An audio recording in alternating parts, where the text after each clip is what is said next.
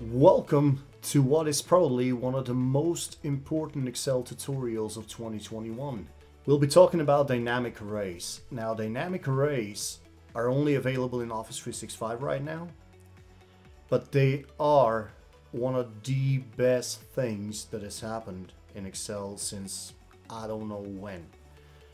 I wouldn't go back to 2013 because that's when Power Query came out, but as far as the effect on Excel, dynamic arrays are actually more important because they affected how Excel fundamentally works. So in this introduction video, what we're going to do is first we're going to look at how Excel has changed by the introduction of dynamic arrays. And following that, we're going to look at four new functions. Now, those are not all of the new functions, but we're going to look at four just to give you an understanding of how Excel actually changed. And um, let's just dive right in. So this is a table in Excel. And the most fundamental thing about dynamic arrays that you need to know is this. Once upon a time, a single formula or a single function within a cell could only return one value. Now you did have the array formulas that could do a bit more, but basically a single function in a single cell could only return a single value. Now that is important, a single value. And that has now changed. Now a single cell can return either a single value or a column of values or a row of values or an entire range of values. And this is very important. So now, you know, once upon a time, if I did this, if I said equals and then just said these 10, what, what would that do in Excel? What would I get if I just pressed enter? Well, once upon a time, what you would get is you would get an intersection of the range that you've selected and the row where you're actually writing your formula. So you would get three. The reason you would get three is because a single formula could only return a single value. Well, now you get this. So there was no fancy control shift somethings. It was just enter. But this formula returns an entire array. And now I could say, well, okay, do that plus one. Right? What, what, what is this going to do? Well, it's going to take that array and it's going to take each and every part of that array and it's going to plus one on the value. Right? This by itself is now brilliant. But this brought along two things, two things that you should be aware of. Now, first thing you should be aware of is do you see how formula only resides in this cell? If I go one cell below that, now the formula is still visible, but it's grayed out, kind of. And that is because this cell does not contain a formula. This cell's value at this point is defined by this formula up here.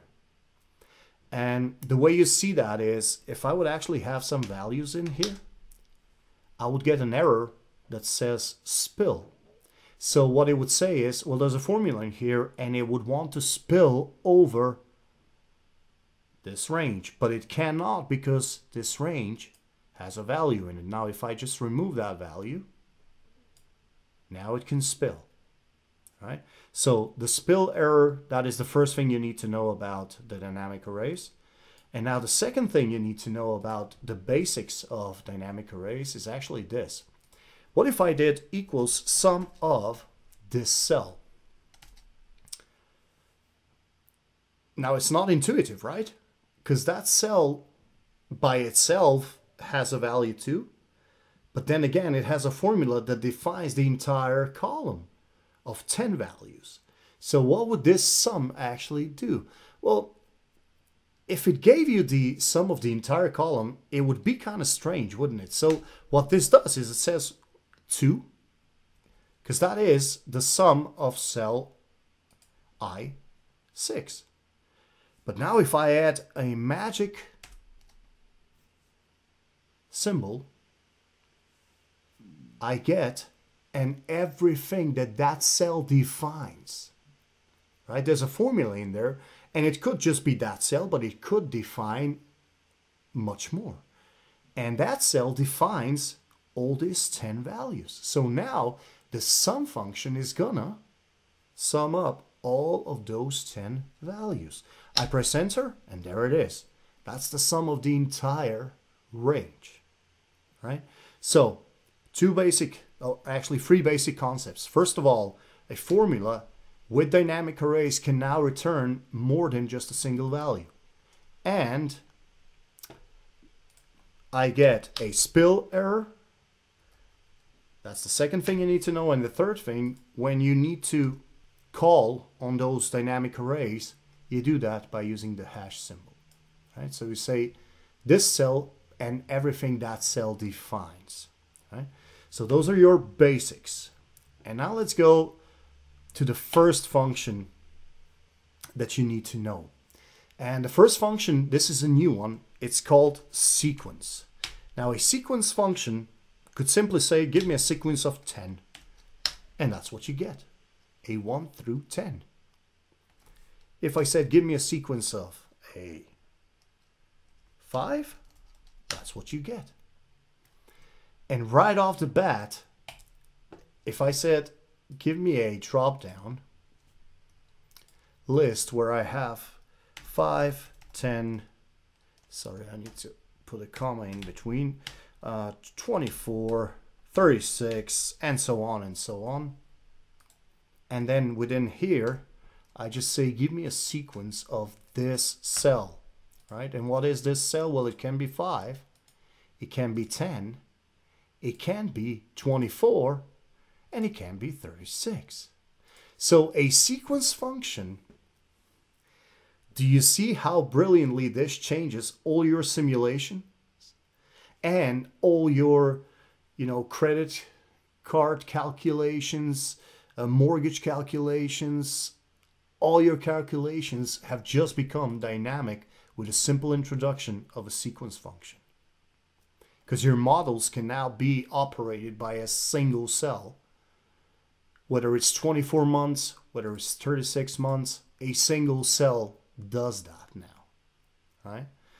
And if I go beyond this, let me just explain how a sequence function can be used to enhance functions that you already know. So this is just a simple range of 70 values. So there are 70 values here. And what I would want here is to do a sum of top, and let's say at this point, top five. Now, how would I do that? Well, what I would do is I would say, well, equals sum of large of, now give me this range, and that one is a given, right? So from this range, and now, which value? And what I'm going to say is, well, a sequence of values defined by this. And what does this do? Well, this is a sum of top five values in this range. Then what is this? Well, this is a sum of top 10 values from that range.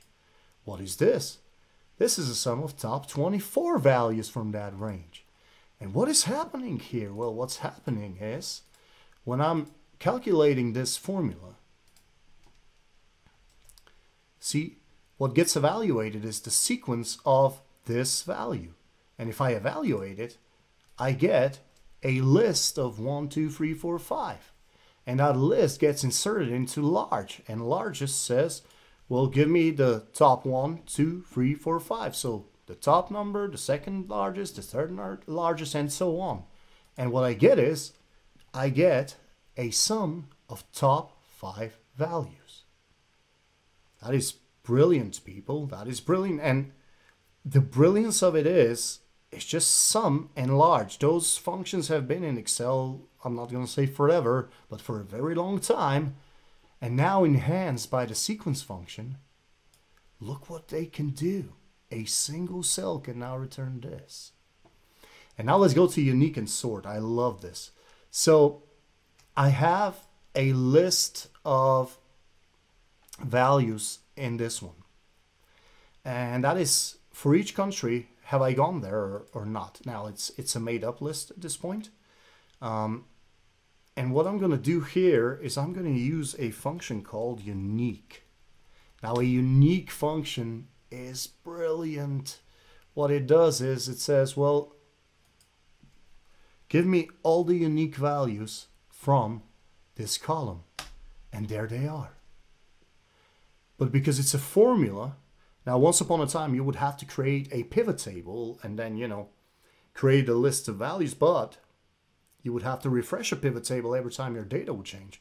If I now um, just say Aruba, I really want to go to Aruba, so let's say I wanna, there it is. It just got added to my values. And now I'm gonna combine this with another little function and that is called sort. And sort is very simple. It takes an array and it just sorts it, in this case alphabetically, right? And do you see how brilliant that is? Those are just functions. So if there was a value a added here, there it is. Because it's a function, because it's the Excel's calc engine, it just gets recalculated every time. And I'm going to take that one out and I'm gonna put the sort on this one. I wouldn't really need to but I'm gonna do it anyway so I'm gonna put the sort around the unique function. And now I'm gonna do this. I'm gonna create a dynamic drop down from this list. And I'm gonna say data validation. Let's create a list. And I want this list to be a source now, how do I do that? Well, this list is actually defined by the first cell.